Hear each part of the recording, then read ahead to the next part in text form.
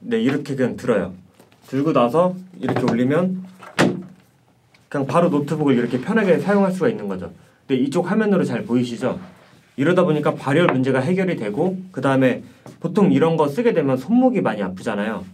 이게 딱 적정 높이까지 올라가다 보니까 손목도 네 되게 괜찮은 딱 괜찮은 위치로 이렇게 잡아주게 됩니다.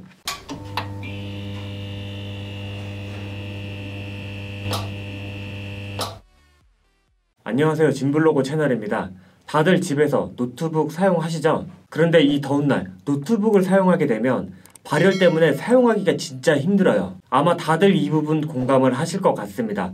그렇다고 이 발열을 해결하기 위해서 팬이 달려있는 스탠드, 그런 받침대를 쓰기에는 휴대성이 최악이고 거기에다가 거추장스럽고 그런 부분들이 불편하다 보니까 결국은 선택한 게 책 한 몇 권 쌓아놔가지고 거기에다가 노트북을 올려서 사용하시는 분들이 종종 있을 것이라고 생각을 합니다. 저 역시도 그랬기 때문에. 그래서 이번 시간에 짧게 샤오미 노트북 받침대를 하나 가지고 와봤습니다. 네, 바로 이 제품이고요.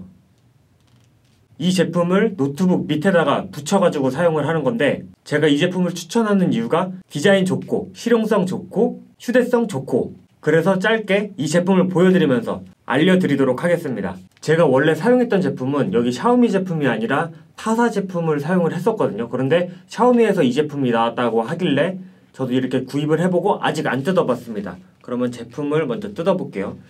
네, 여기 자세히 보시게 되면 가위로 뜯으라고 되어 있거든요. 네, 저는 그냥 뜯도록 하겠습니다. 네, 이렇게 뜯으면 이 안에 비닐이 이렇게 쌓여져 있고 네, 제품은 네, 이게 끝입니다. 네, 자세히 좀 보여드리게 되면 네, 이렇게 생겼고 그 다음에 노트북과 붙이는 면은 이렇게 생겼습니다.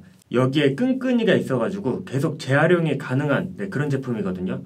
그래서 접착 시에 나중에 뗄 때 크게 문제가 없는 점이 네, 이 제품의 장점입니다. 그래서 노트북 밑면에다가 이렇게 붙이고 여기를 이렇게 뒤로 제껴주면서 노트북의 그 공간, 이 밑면 공간을 이제 띄워주게 되면서 그런 발열 문제를 잡는 아주 휴대성까지 좋은 네, 그런 제품입니다. 그러면 지금 바로 한번 붙여보도록 할게요.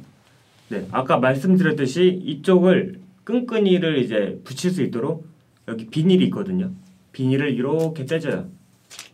네, 그러면 여기가 살짝 끈끈한 느낌이 좀 있어요.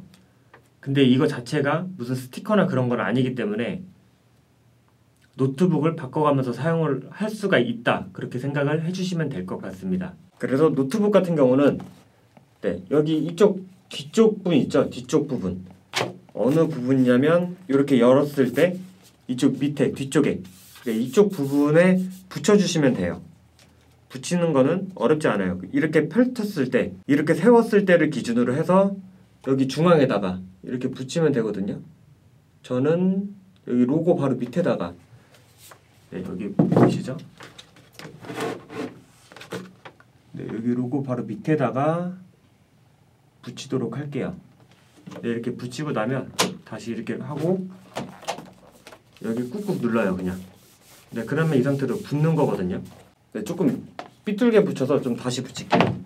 네, 이렇게 하면 이제 붙이게 되는 거고 평소에 이렇게 들고 다니다가 어디 밖에서 조금 더워서 이 발열이 조금 심해질 것 같다 하면 네, 이렇게 그냥 들어요. 들고 나서 이렇게 올리면 그냥 바로 노트북을 이렇게 편하게 사용할 수가 있는 거죠. 근데 이쪽 화면으로 잘 보이시죠? 이러다 보니까 발열 문제가 해결이 되고 그 다음에 보통 이런 거 쓰게 되면 손목이 많이 아프잖아요. 이게 딱 적정 높이까지 올라가다 보니까 손목도 네, 되게 괜찮은 딱 괜찮은 위치로 이렇게 잡아주게 됩니다. 그러다가 평소에 사용하지 않을 때 집 같은 데서는 스탠드를 사용하는 경우가 좀 많이 있잖아요. 그럴 경우는 그냥 평소대로 이렇게 내리고 스탠드 위에다가 이렇게 올려놓고 네, 이렇게 쓰시면 되고 필요할 때만 밖에서 이렇게 올려서 가볍게 사용해 주시면 됩니다. 그리고 이걸 떼야 될 때 그럴 때는 그냥 이렇게 잡고 떼주시면 네, 바로 뗄 수가 있어요.